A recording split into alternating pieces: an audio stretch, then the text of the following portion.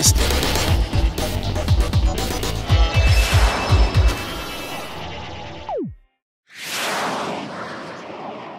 You know, a lot of my success as such of a young angler has came from a couple different things. One of the biggest things is probably fishing a lot of different places. I grew up fishing in Washington for a lot of different species and lived in California and fished down there for quite some time, about a year or so, and fished a lot of different fisheries from Shasta and Oroville, deep clear water, to the Sacramento River Delta, which is tidal and grass and dirtier water.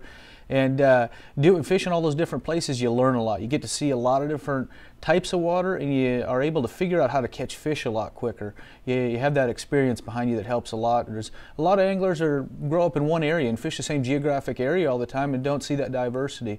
And I think being young and not having fished for so many years too probably helps me keep an open mind there's nothing I really won't do or won't try, and that open mind goes a long way. Sometimes people think you're not going to catch fish doing this or going there, and that open mind, not knowing any better, can get you in a lot of good places.